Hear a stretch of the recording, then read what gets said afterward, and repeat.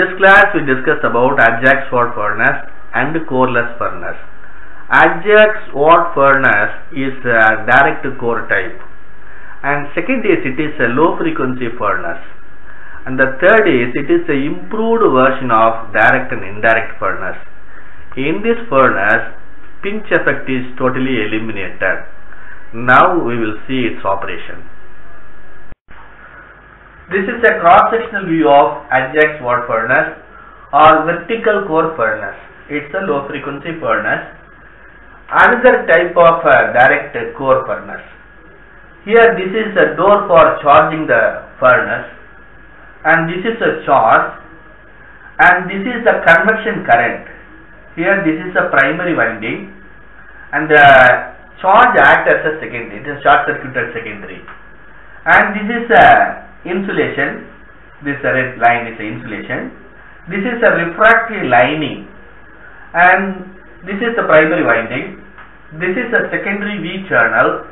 This is a refractory channel. The V portion is a narrow. Naturally it give offer a very high resistance. The operation is the primary winding is connected to AC supply. This causes an intense electromagnetic field to fluctuate in the iron core. The metal acts as a short circuited secondary and carries the induced currents. The resistance in the V portion is very high. Higher amount of heat is generated in that portion which is rapidly distributed to the metal by convection. This furnace make use of vertical crucible instead of horizontal one for the charge. The shell of this furnace is made up of heavy steel. The top of the furnace cover is covered with an insulated cover which is removable one for loading the charge. Inside of the furnace clay is lined for yellow brass and the alumina for red brass and bronze. The lining will differ from based on the charge. Charge is a, either it may be a yellow brass or a red brass or bronze. The line will differ. Apart from V, U and rectangular shaped channels are also employed in this furnace. The circulation of molten steel is kept up round the V-shaped portion by convection currents. Please see the convection current. Here this is one off, this is this side also convection current will come. In the two half of the V-shaped, since it is a vertical core type furnace, the tendency of current to interrupt the secondary circuit due to pinch effect is avoided due to the weight of the charge in the main body of the crucible. For continuous operation, V-shaped portion must be kept of charge in order to maintain continuity of the secondary circuit. The furnace can be operated at power frequency. Its operating power factor is about 0.8 to 0.85 and with the power frequency its efficiency is about 75 percentage. The advantages of Ajax Wyatt furnace are number one simple control, number two accurate temperature can be obtained, number three metal losses are very less, number four no, no dirt and noise, number five absence of combustion gases resulting in elimination of the most common source of metal contamination. The applications of Ajax Wyatt furnace are this furnace is widely used for melting and refining brass and non-ferrous alloys. Next is high frequency coreless induction furnace. This furnace consists of three main parts. One is the primary winding, Number two, is the refractory container. Number three, the frame which includes supports and tilting mechanism.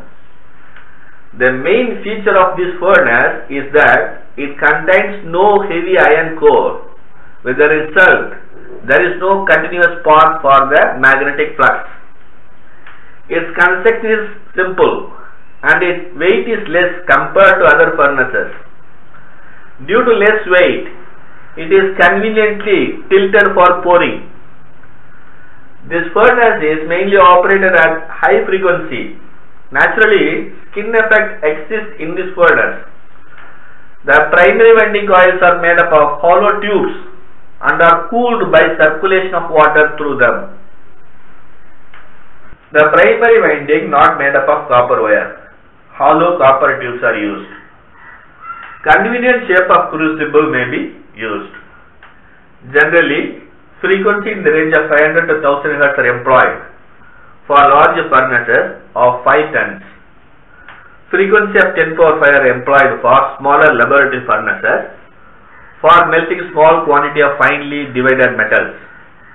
For efficient operation, the ratio between D that is diameter of the charge and T depth of penetration should be nearly 8 that is D by T is equal to 8. The choice of frequency can be made by using this formula T is equal to 1 by 2 pi root of rho into 10 power 9 divided by mu into F in centimeters where T is the thickness of the crucible that is penetration Rho is the resistivity of the molten charge, Rf is the supply frequency, mu is the permeability of the molten charge.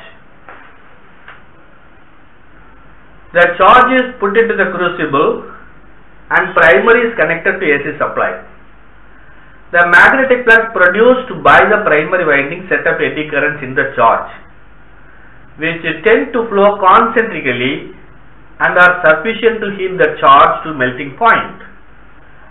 They also set up electromagnetic forces which produces a stirring action. The magnetic coupling between primary and secondary winding is low and hence the furnace power factor lies between 0.1 and 0.3. Static capacitors are used to improve the power factor. We know that for efficient operation d by t is equal to 8 t is equal to 8 by d and t is equal to 1 by 2 pi root of rho into 10 power 9 divided by mu into f in centimeter. t square is equal to 64 by d square. Substituting the formula f is equal to 16 into rho into 10 power 9 divided by pi into mu into d square.